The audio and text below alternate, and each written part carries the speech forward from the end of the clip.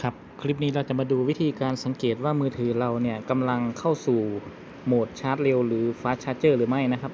อันนี้ผมเสียบสายชาร์จแบบธรรมดานะนะครับ เราจะเห็นว่ามันจะขึ้นลักษณะรูปสายฟ้าแบบนี้นะครับ อันนี้คือสายชาร์จของมือถือ oppo ทั่วไปนะครับอ่าทีนี้ถ้าเป็นหัวปลั๊กชาร์จแบบ fast charger ล่ะนะครับ ตัวนี้หัวปลั๊กชาร์จอ่าความอ่าชาร์จเร็ว 20 วัตต์นะตัวนี้นะครับเป็นของมือถือ Xiaomi Redmi Note 9 นะครับ เวลาเราเสียบสายชาร์จที่เป็นลักษณะชาร์จเร็วมันจะเป็นยังไง ท่านสังเกตตรงนี้ครับ มันจะมีลักษณะสายฟ้าซ้อนกัน 2 อันเห็นไหม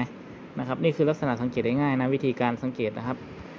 มือถือที่สามารถชาร์จเร็วได้ 1 มือถือต้องรองรับการชาร์จเร็ว อันที่ 2 คือ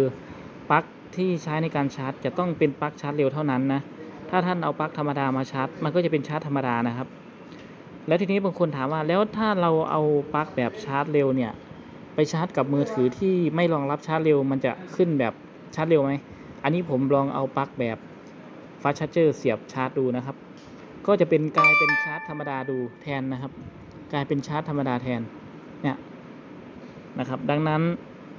การที่จะเป็นลักษณะฟาสชาร์จเจอร์ได้มือถือต้องรองรับนะครับ แล้วก็ปลั๊กจะต้องเป็นปลั๊กแบบชาร์จเร็วด้วย